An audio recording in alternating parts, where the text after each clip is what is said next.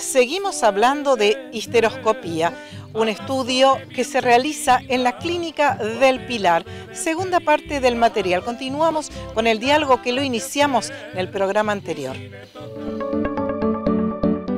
Mi nombre es Griselda de Bonis, yo soy tocoginecóloga, también trabajo aquí en la Clínica del Pilar y continuando con lo que dice mi colega, eh, las indicaciones para histeroscopía son las siguientes. La que mayormente vemos son los sangrados intrauterinos que provienen del endometrio y esas hay que estudiarlas.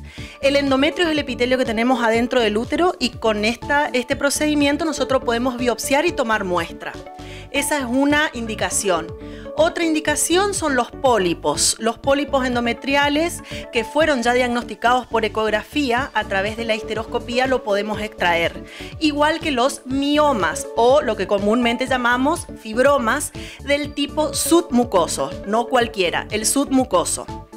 Aquella paciente que está en estudio, por ejemplo, de fertilidad, esa paciente también le podemos hacer histeroscopía para estudiar todos los tipos de adherencia que puede haber adentro de la cavidad uterina y eh, poder debridar con el histeroscopio. Lo mismo estudiando los ostium, que son dos cavidades que eh, comunican la trompa con el útero y eso debe estar permeable en la mujer que está en reproducción. Entonces, gracias a este método podemos saber eso. Otro tipo de indicación son aquellos DIU que están muy comprometidos o que no se ve el señuelo, el hilo. Eh, este es un método por el cual nosotros podemos extraer el DIU. Lo mismo que los cuerpos extraños, que son los granulomas, eh, las formaciones de los hilos. Si esa paciente tuvo cirugías previas, a veces se forman los granulomas y con esto lo extraemos. Por último, tenemos la ablación endometrial, que es cuando la paciente consulta por sangrado, un sangrado que no es maligno, pero que no responde al tratamiento con hormonas. Nosotros, gracias a este estudio, lo aplanamos a ese endometrio y con esto evitamos cirugías mayores, como por ejemplo las histerectomías, que es sacar el útero. Con esto facilitamos mucho al paciente, ¿sí?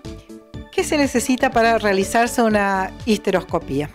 Bueno, eh, Roxana, nosotros la citamos en el consultorio, la evaluamos a la paciente, pedimos un laboratorio básico que tenga coagulograma sobre todo para ver cómo coagula la paciente en este caso, un electrocardiograma para ver eh, la valoración cardiovascular que tiene, ya que es un procedimiento que se hace en quirófano y con anestesia.